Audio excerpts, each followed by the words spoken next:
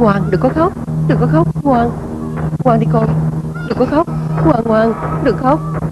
Ngoan ha Chờ Chờ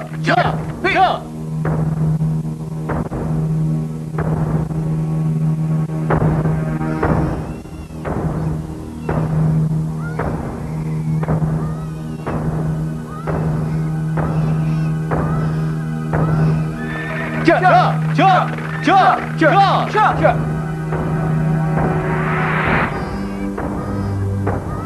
Tại sao chưa bắt đầu? Minh chủ Bọn họ nói Đề lệnh của phó minh chủ mới có thể bắt đầu. Linh lạc thành chôn! Cha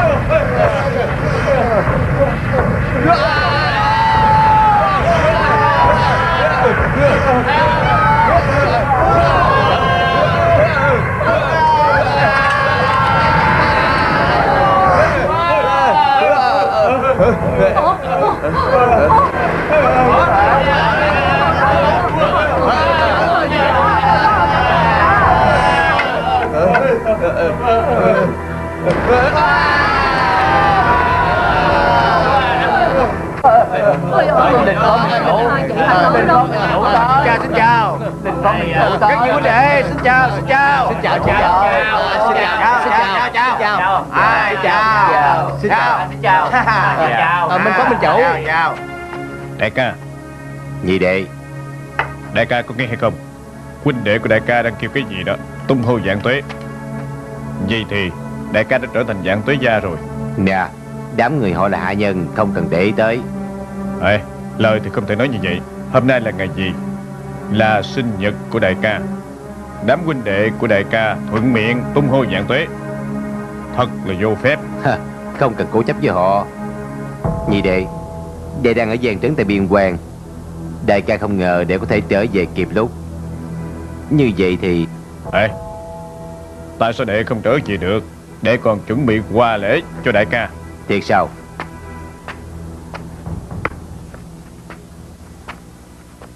Kính chúc minh chủ Giang thọ vô cương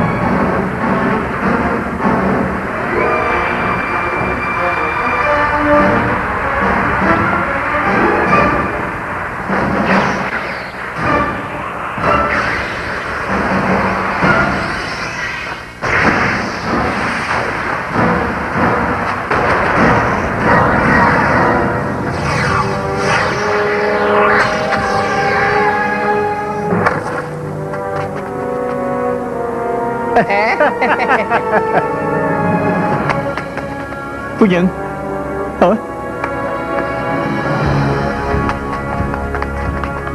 chúc mừng chúc mừng minh chủ chúc mừng chúc mừng minh chủ chúc mừng minh chủ Đứng lại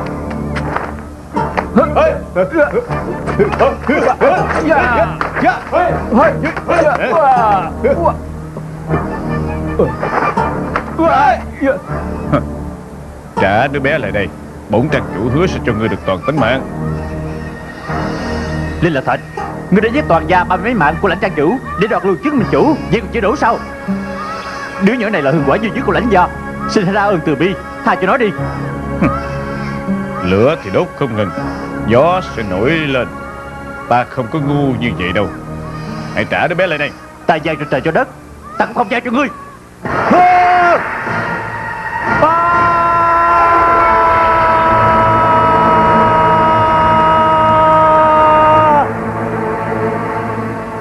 Để nhảy xuống dưới. Đại ca Đáy cốc này sâu ngàn trượng Rớt xuống dưới thì nhất định không còn thay Câm miệng Lỡ như Sợ nhất là lỡ như Nếu đứa bé không chết Một hai chục năm sau Nó sẽ trở về đây báo thù. Như vậy chúng ta chết chắc đó. Có hiểu không? Mau điều tra Sống phải thấy người Chết phải thấy xác. Ta không muốn có chuyện rủi ro. Dạ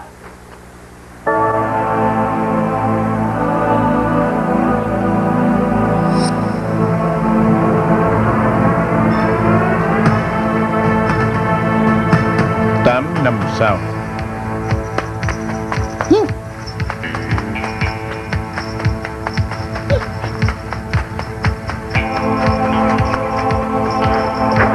Dạ. Nghe đánh lén. Ê, nhóc con bàn tay này không phải đánh lén đâu. Là đánh lén. Được. Đại ca sẽ cùng những người qua chiêu bằng kiếm bằng đao. Giả cho người biết. Lên. Có can đảm là một nhân tài. Hàng chi gia các tiên sinh kêu ta tới giả cho ngươi. Muốn ta bái sư Tâm thành vấn đề Nhưng mà ngươi phải hạ ta trước. Muốn đánh với ta kiểu nào? Hi. ừ? đánh bằng cây Và các tiên sinh đã dạy ta vài chiêu. Và các tiên sinh một đời thành nhân. Nếu như ngươi đã học vài chiều với ổng vậy thì không cách sáo nữa.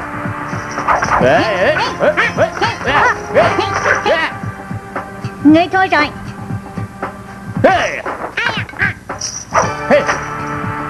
Ngươi đã thua rồi mà còn đánh lén Không phải đàn ông. Đánh lén thì sao? Đánh với thứ dân như ngươi cần chi quy củ ta muốn đánh thế nào thì ta cứ việc đánh.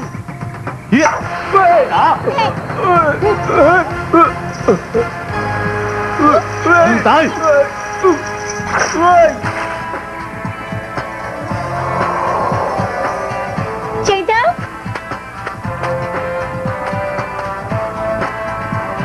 Ông không cảm thấy ngại hay là sao? Và các tiên sinh thằng nhỏ này đánh chết con nhận ta làm sư phụ. Hắn còn nói là Hắn không đánh làm sư phụ của con. tên tiểu súc sanh ngươi. Ừ. Tên tiểu tử người Ta có hơi cuồng ngạo. Phương pháp của Trần Tiên Sinh là nổi tiếng nhất tuyệt võ lâm. Sao không đáng làm sư phụ của con? Hắn đê tiện. Đừng mở miệng là chửi người. Con hãy nói coi Ai mới xứng làm sư phụ của con? Một góc trời Một lụm cây Một con sông Và sư túc Thật không ngờ còn nhỏ tuổi như vậy Mà đã biết lấy dạng tượng làm thầy. Được lắm Được lắm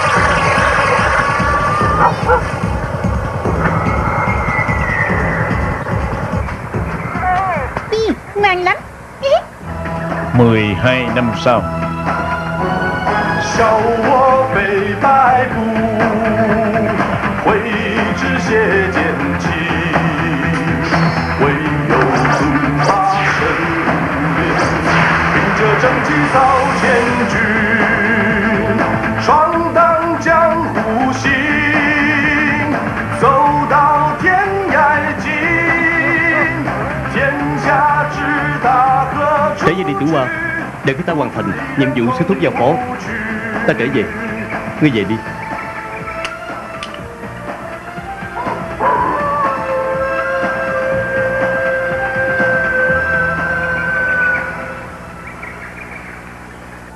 Ờ Ờ là Châu Bảo Cưới chục con gái mới.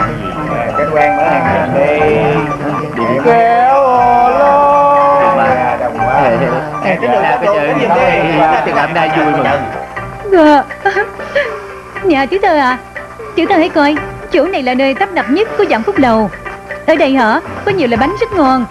Nhất là cái loại bánh cô thích ăn nhất Đó chính là bánh quế hoa. Ừ. à, Tiểu thư à Ở bên kia có biểu diễn. À, Tiểu thư Chúng ta vừa ăn vừa coi Có được không? Đúng ra Là do người thích tới đây chơi Có đúng hay không Nhà tiểu thư đừng nói vậy. Thật ra tối ngày trong phủ thiệt buồn lắm. Hiếm khi có cơ hội được ra ngoài chơi. Tiểu thư à Đi đi. Ngươi không sợ cha mẹ ta biết được sẽ bị chửi hay sao?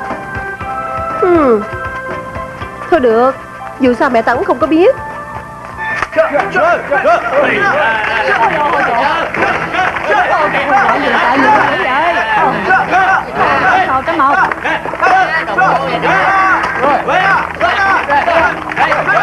Một cái một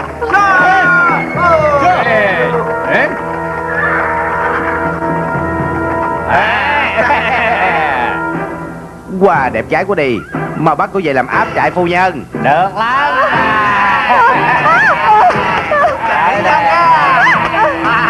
Các người muốn gì? Dạ. Các người đừng có của ta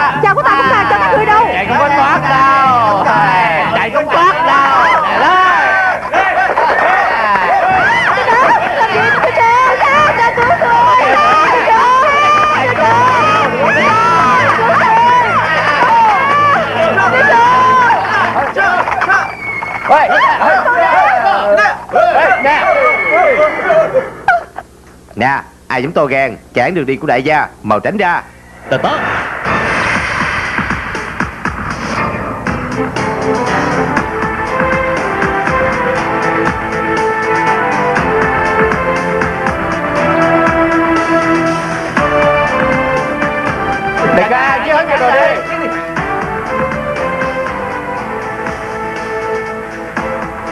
ta là dương bết ai là dương bác.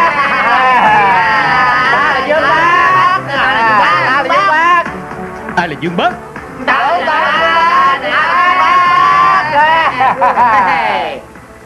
dương bết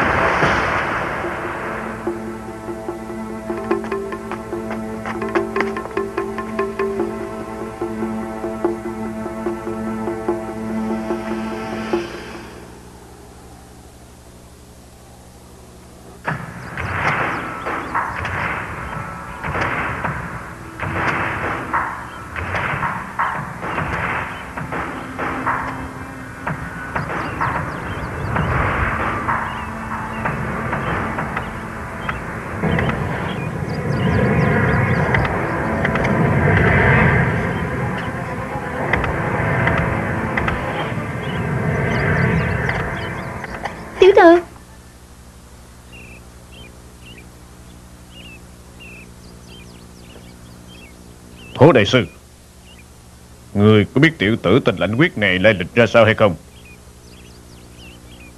Cậu đại nhân còn ông. À, Mần đạo đã kiểm tra vết thương của họ rất là kỹ càng. Tất cả đều chết vì một kiếm. Thủ pháp rất nhanh. Hả? Nói trọng điểm. Ta chỉ muốn biết Lai lịch của tiểu tử này. Tại sao?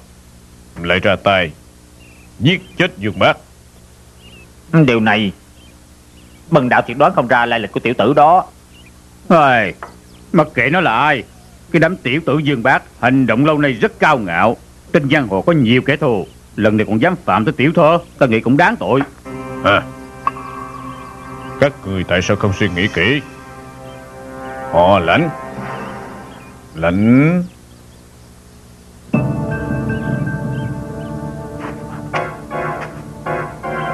Lãnh tiểu đao. Cha Bắt đầu hôm nay không được ra khỏi đại môn nửa bước. Lập tức theo Dương Can thúc thúc Học tập võ nghệ. Biết chưa?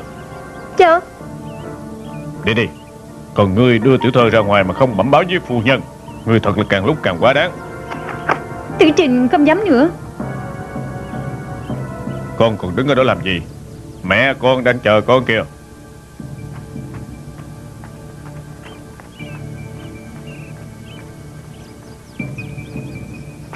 Ta đang nghĩ đến một người. Lại. Bất tử thần long Con của lãnh phối thiện. Chắc không mở vậy. Tại sao không chứ? Năm xưa ta đã có dự cảm. Tiểu tử này Không có dễ chết như vậy. Nhất định là Dự cảm của ta đã đón trúng. Không thể nào. Nhật lạc nhai đó sau cả ngàn trượng Rớt xuống thì nhất định nát thầy Hơn nữa sau đó chúng tôi có đi tìm qua Sống không thấy người Chết không thấy xác. Chúng ta đã không tìm ra được cái gì. Tô quần Dưới đáy cốc chỉ là một vùng quan du Không những là có cọp có sói lang. Rớt xuống dưới thì nhất định thú dữ ăn thịt Cho nên kiếm không thấy gì hết. Ngươi khẳng định như vậy hay sao? Tờ... Ấy Minh chủ anh Minh đoán việc như là thần. Đã nói đó là kẻ kế thừa của lạc phối thiện. Tám phần không sai. Hoài Mà kệ mẹ của nó lấy ai? Dù chính là hắn vậy thì sao Minh chủ thần công cái thế Cần gì phải sợ tên tiểu tử đó? Nhưng mà cái tên tiểu tử đó chỉ một kiếm đã giết hết 8 người. Vậy thì võ công của nó nhất định không tệ. Nếu thật là con trai của lãnh phối thiện Thì e là Ta thật tình hy vọng Hắn chính là con trai của bất tử thần long lãnh phối thiện. Tại sao? Như vậy Ta có thể giết hắn thêm một lần nữa. Tiểu Hoa Tiểu Hoa. Tiểu Hoa.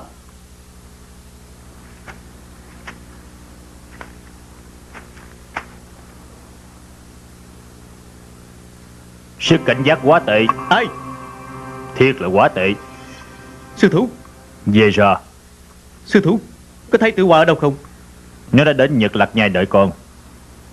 Súc sinh này đã sống với con từ nhỏ đến lớn. Rất là có nhân tính Coi con như là huynh đệ của mình Và lo lắng cho con thật nhiều. Sư thú Sao không nói cho con biết Dương Bác không phải chỉ là một người Mà là tám tên hung thủ? Ta không nói cho con biết Bởi vì hư thật của địch nhân Phải do chính mình dọa thám Thật ra trước khi chưa biết rõ được thân thế của địch nhân Tốt nhất là con đừng nên ra tay dễ dàng Nếu không Ngươi không phải là gia cát tiên sinh. Hãy thu kiếm lại đi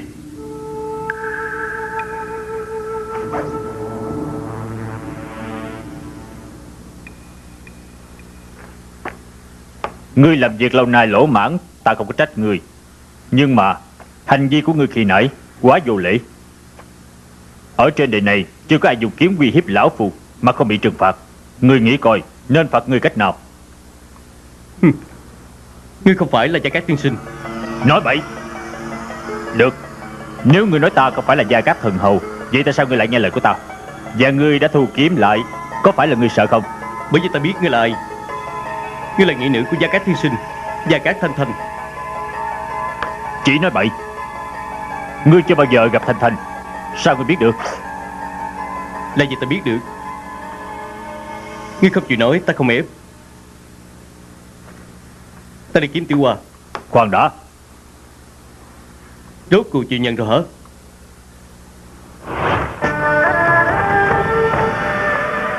Em còn tưởng là thuộc dịch dung của mình sẽ không ai biết được Ai ngờ đã bị anh nhận ra dễ dàng. Có thể nói cho em biết Tại sao anh đoán ra? Ta không nhìn ra sơ hở nào. Vậy sao anh Là bởi vì Ta ngửi được mùi trên mình cô Khác với sư thúc Mũi của anh sao lại vậy? Cô đã quên Ta sống trong một số làng tới lớn à. Cho nên khứu giác của ta Không tệ hơn tiểu hoa. Ừ, Như vậy không đúng. Anh quen thuộc với mùi vị của nghĩa phụ cho nên dựa vào đó mà biết được em là giả mạo. Nhưng anh chưa từng gặp qua em, Sao biết được em là Gia Cát Thanh Thanh?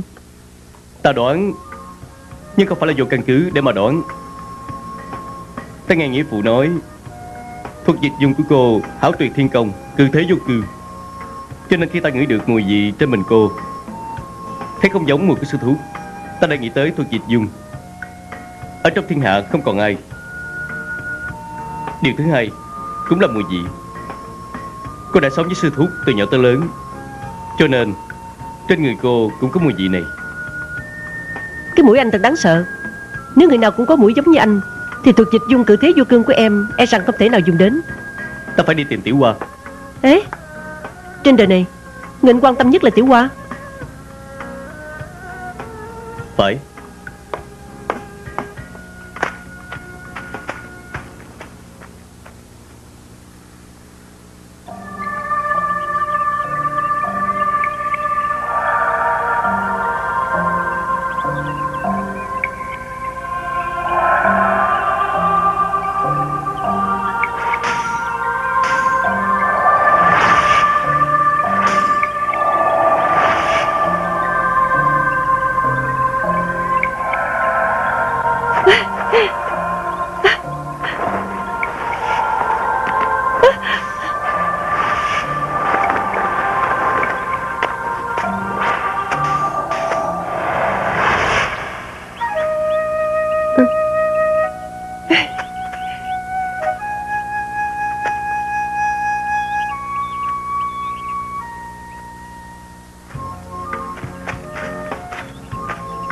Đại sư Huynh Cô Mỹ Đại sư Huynh Rốt cuộc đã luyện thành kỳ môn ẩn tân thuật. Đâu có sớm như vậy. Em tưởng dễ dàng lắm hay sao? Em chẳng qua biết được chút đỉnh thôi Vẫn chưa vận dụng tự nhiên. Nhiều khi ẩu được cái thân Thì cái đầu vẫn còn bên ngoài. Có một lần bị người ta thấy được. Còn tưởng là gặp ma nữa chứ. Nghe nói là cái người đó Vừa chạy vừa la làng. Vậy sao? Như nghe sư phụ nói Anh tính tình thông minh Việc này đối với anh không khó. Vậy chưa chắc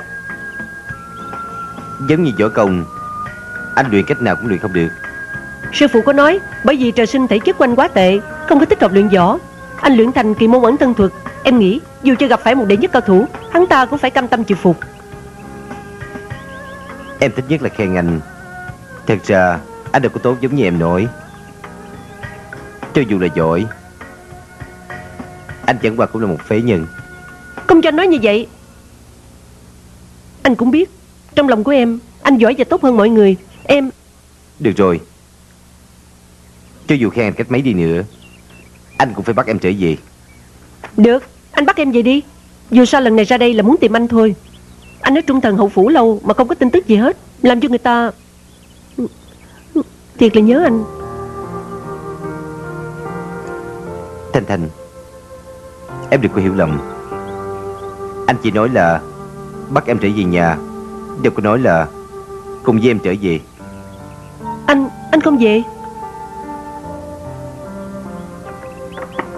Anh còn có việc Trong khoảng thời gian nữa Cũng không trở về thần hậu phủ Anh không về. Và em cũng không về. Đơn giản thôi. Anh dám ăn gì vậy? Thông khí đường. Trong 7 ngày không trở về thần hậu phủ Để hỏi sư thúc lấy thuốc giải Thì em dám hơi liên tục hơn nữa, Càng lúc càng thúi Càng thúi thì càng nhiều. Mau đưa thuốc giải.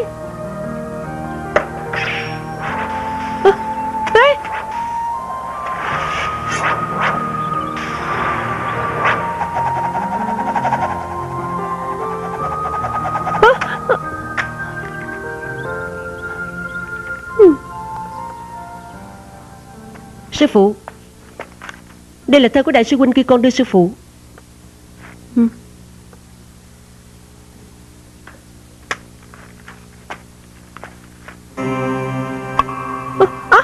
Phụ. Sư phụ Thầy vẫn chưa coi tại sao lại đốt. Duyên phận sư đồ của ta với nó đã tận rồi. Tại sao? Con hãy tự coi đi.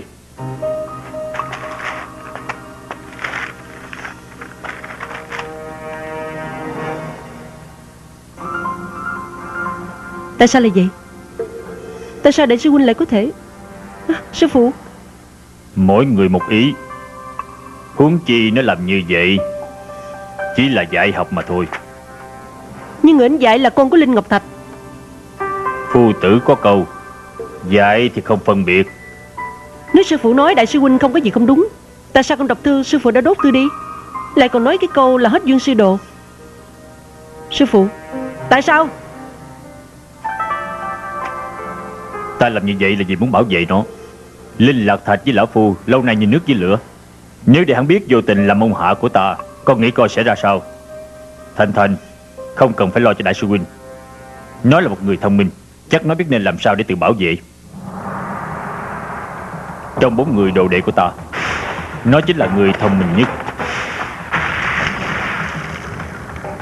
Nhi sư huynh của con thiết thủ Tính tình rất là chánh nghĩa, Trung trang nghĩa đảm, chuyên luyện võ công suốt đời để đến mức xuất thần nhập quả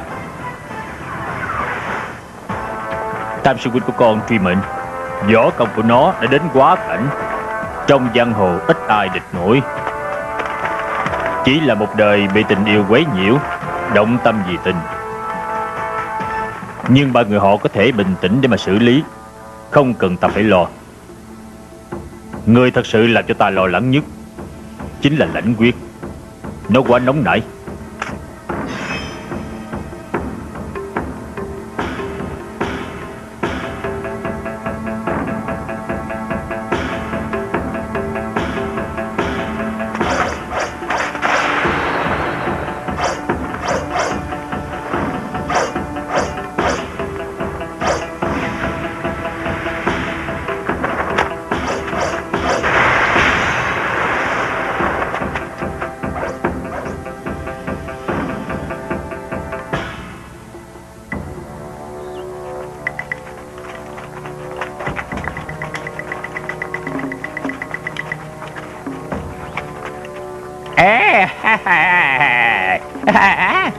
Lần này chúng ta quá hoài phòng. Cả kem loạt điện mà chúng ta cũng đến quà. Hoàng đế lão già đích thần triệu kiến Còn khen chúng ta là anh hùng nữa à, à. Hoàng thượng khen ngươi sao? Người ta khen đại ca của ta. Chúng ta chẳng qua đứng bên cạnh nhờ hưởng ánh quang của đại ca thôi. Ai là đại ca của anh? Linh lạc thạch đó. Ấy à, Linh lạc thạch ra là để anh kêu sao? À, à, Lão nhân gia đã là đại tướng quân do hoàng đế ân điển à, Anh vô phép như vậy kêu tên của người ta. Tôi thật lo cho cái đầu của anh quá. Có chừng Ê, ê, Anh không có bản lãnh chút nào. À, Sợ đến nỗi rung như vậy. Sao trời nóng mà ta cảm thấy lạnh vậy ha? À, Ta nghi chính phần là cái loại hòa thượng như ngươi Không nhìn được tủ sát Suy nghĩ nhiều quá. Cho nên ừ, mới bị như vậy. Là sát khí. Ừ, ừ, Sát khí thiệt nặng à, à, Có mại phục Bảo vệ đại tướng quân Mà lên mà lên đại tướng quân Nào Wow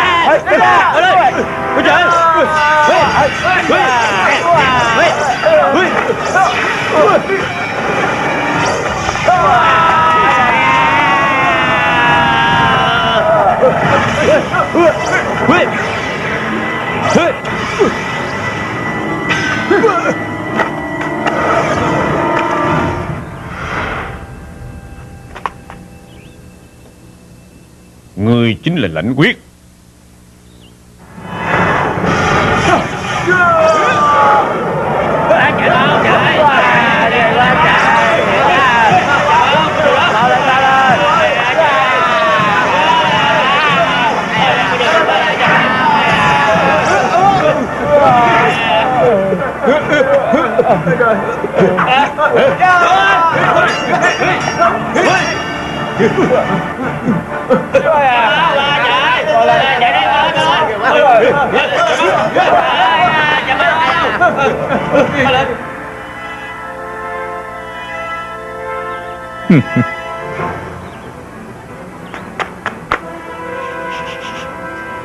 phủ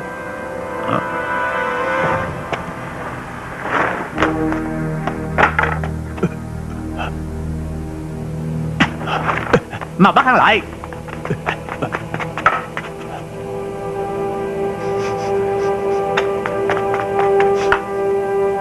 Ở trong này.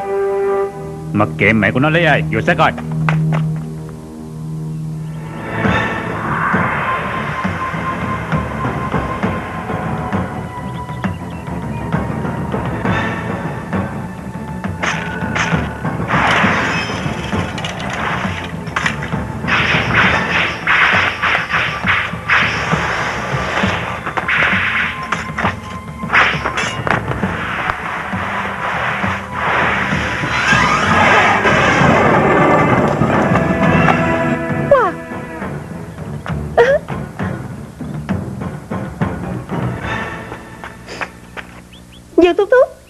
Là giỏi quá. Cô muốn học không? Ừ, Cháu không muốn học. Đào pháp của Dương Thúc Thúc Là trấn Dương Chi Bảo. Tiểu cốt thường kêu ta dạy cho Nhưng ta cũng không dạy. Cháu lại nói là không học. Dương Thúc Thúc Chú con biết là chuyện võ cháu không có hứng thú. Nếu đại ca muốn học Chú dạy anh đi Cháu không muốn học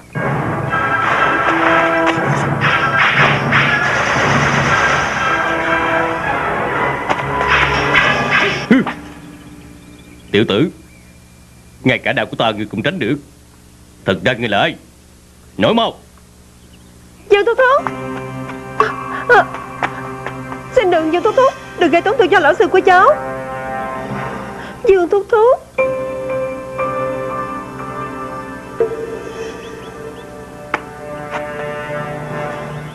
Mông chủ. Khải bấm mông chủ Cẩu đạo nhân và thố đại sư tới. Mông, chủ. Bộ hai vị Không phải để cùng minh chủ Nhập kinh triều kiến sao? À, à dân mông chủ. Giờ mông chủ của chúng ta đã được à, hoàng đế ân thế Làm trấn diễn đại tướng quân. Tôi nghĩ là cũng nên thay đổi cách sân hồ đó. Không sai. Phải thay đổi. Đáng lý nên kêu là đại tướng quân. Trên đường hồi phủ Đại tướng quân đã gặp thích khách Ai dám to gan? Tới ám sát đại tướng quân Cha tôi có sao không? À gì tiểu thơ à?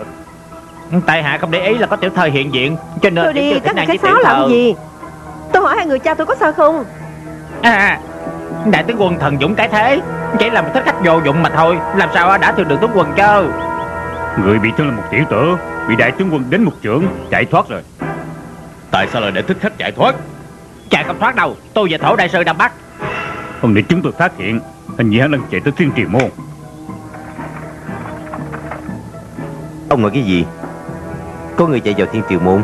À, à, Vậy này là Vậy này là Trình lão sư. Tướng quân mời ông tới Và tiểu đao cầm kỳ thi quả. Làm phiền hai vị đại sư Hãy kiếm cho kỹ đi. Còn nữa Ngoài trừ gian phòng của ta ra Tất cả đều có thể kiểm tra. Hai vị hoài nghi thích khách Đã chạy vào thiên triều môn này. Vậy ta phải thỉnh an với đại tướng quân Không thể tiếp đãi. Tiểu đao Cậu muốn cùng Dương Thúc Thúc đi gặp cha cháu không? Ờ Thúc Thúc đi trước đi Cháu đi thay áo. Ừ cũng được. Ừ.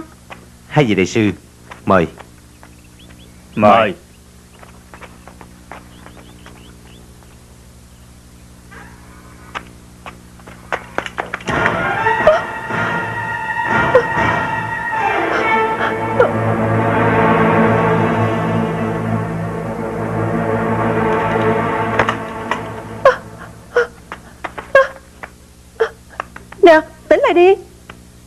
tỉnh lại.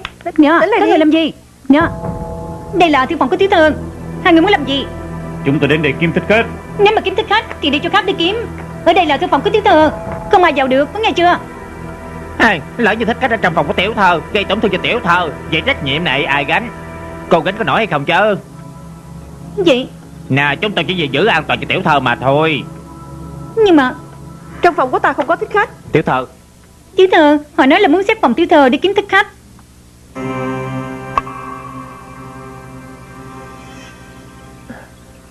Ta đã nói qua Phòng ta không có thích khách. Hai người đi đi. Mời. Ờ, Nè anh làm gì vậy? Đồ ngu Gì mà cũng nhìn không ra. Thích khách đang ở trong phòng của tiểu thơ. Vậy phải làm sao? Mặc kệ mẹ của nó lấy ai Bất thình lình mình xông vào. Nè lỡ như. Không có lỡ như Tiểu thơ quan trọng. Nếu mà ngươi ngại Ta tự xông vào. Được Bằng đạo tin anh lần. Vô đi. Đi Người làm gì? Tại sao như vậy? Không có thích khách. Hai người hoài nghi ta qua trữ thích khách. À, Tiểu thơ xin cô đừng hiểu lầm. Chúng tôi sẽ thích khách uy hiếp cô Cho nên à, Anh có kìa.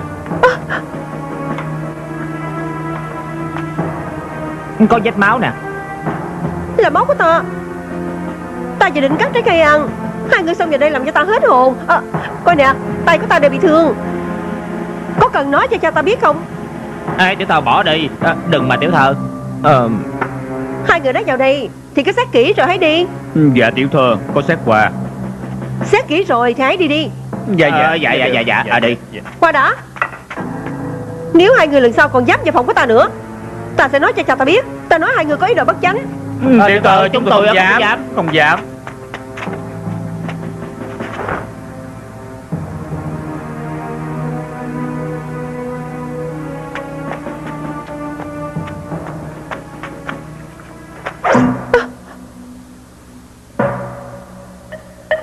tỉnh rồi hả? Cô là ái nữ của Linh Lạc Thạch Tôi không có ý với anh. Nếu có ta đã ra anh ra rồi.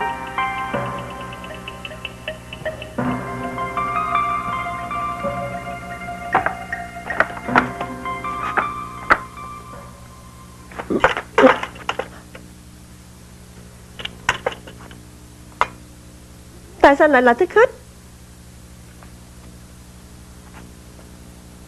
Anh tới để giết cha của tôi Cha tôi thù với anh hay sao?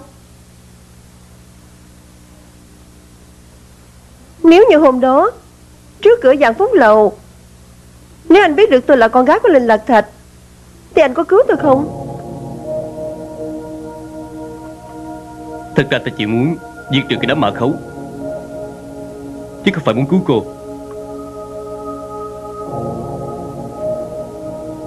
Anh đã bị thương. Tôi đi lấy thuốc cho anh Đưa ta rời khỏi đây. Bên ngoài có nhiều người đang tìm anh. Hãy ở tạm lại đây.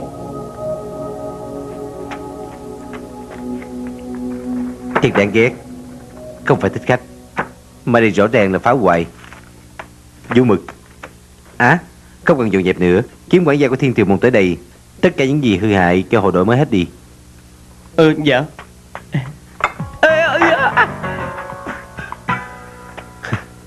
Ngươi thì quá dụng về.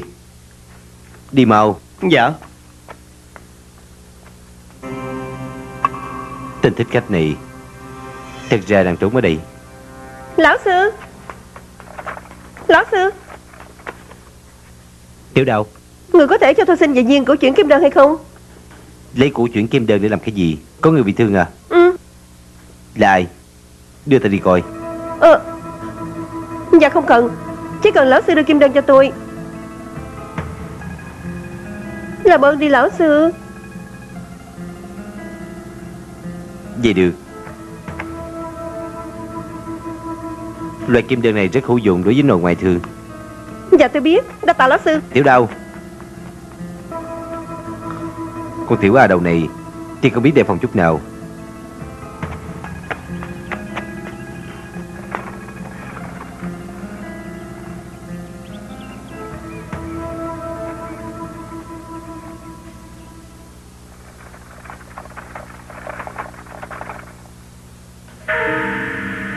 em tới đây.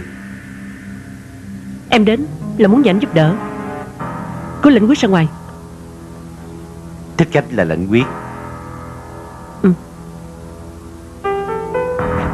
Sau khi anh bị Linh Lạc Thạch đánh bị thương Đã chạy vào Thiên Triều Môn. Anh có biết anh đang trốn ở đâu không?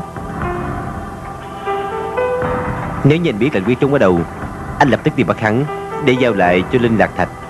Đại sư huynh Em đã nóng lòng muốn chết anh còn nói giỡn nữa Em tưởng đang nói giỡn hay sao? Thanh Thanh Em thiệt hiểu anh chút nào. Mục đích mà anh tới đây Là tiếp cận với Linh Lạc Thạch Và ra công cho hắn. Anh điên rồi sao? Anh không nhớ Linh Lạc Thạch là ai hả? Vậy mà anh cũng muốn ra sức cho hắn. Linh Lạc Thạch là Tào Tháo đương thời.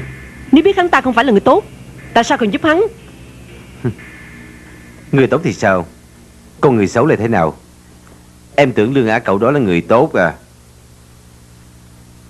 Thiệt quá ngây thơ Đại sư huynh dám nói em ngây thơ Anh nói sai à